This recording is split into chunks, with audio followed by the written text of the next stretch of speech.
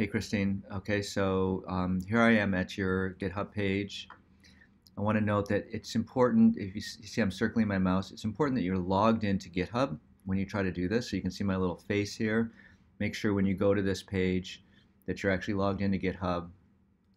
Then you press clone or, clone or download, open in desktop, and then it should bring up the GitHub desktop and show this little dialog about where do you want to put it. And what I'm going to do is I'm going to put it in my GitHub um, portfolios directory because that's where I just keep every when I whenever a student asks me for help, I clone it into that directory. I'm going to press clone, um, and then this is what should happen next. And now you can see it showing up in this right hand side.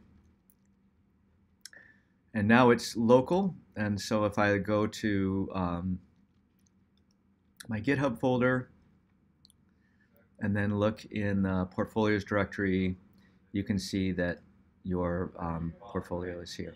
So you should try to replicate these steps. Um, and uh, if it doesn't work for you, let me know.